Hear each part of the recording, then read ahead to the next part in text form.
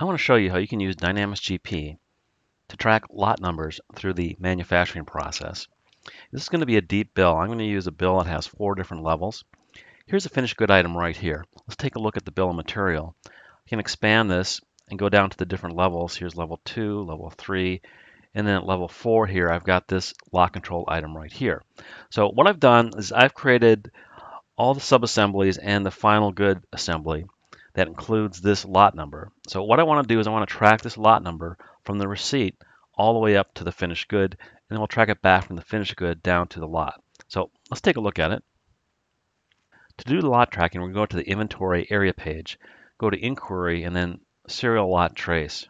I'm going to look at all the transactions for a particular lot number. Select that. And here's the item number I'm going to track. I'm going to redisplay this. It'll pull up all the lot numbers I have Here's this one. Let's track this lot number, see where it ends up. So I get this screen. It shows me a receipt coming in from the vendor. Second line here. And then it shows the manufacturing receipt. Let's drill back to the bill of material and see where this lot number was used. And what I want to do is I want to select produced from this serial lot.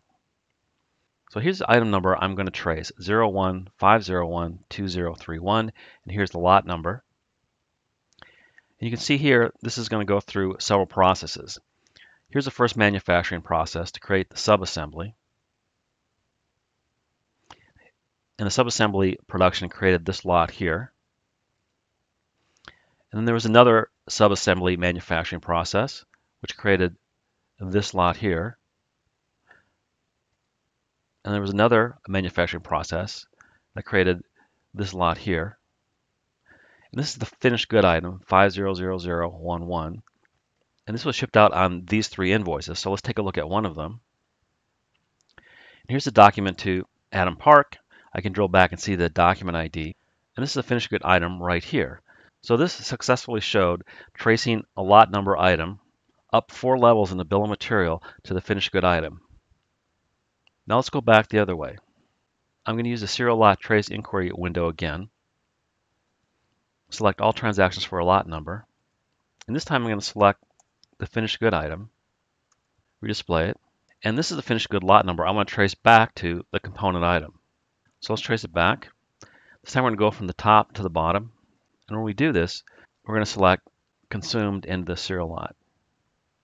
This finished good item, 500011, was created by this manufacturing receipt here, which consumed these items and lot numbers.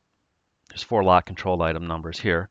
Let's go down and look at this particular item. This item was created by this manufacturing receipt, which consumed these items and lot numbers. Let's track this down further. It's created by this subassembly here. We can open that up. You see that use this number here. And that was created in this manufacturing receipt here. Here I trace from the finished good item down three layers to the component lot controlled item. And this shows you how flexible Dynamics GP manufacturing can be to control and track lot and serialized numbers.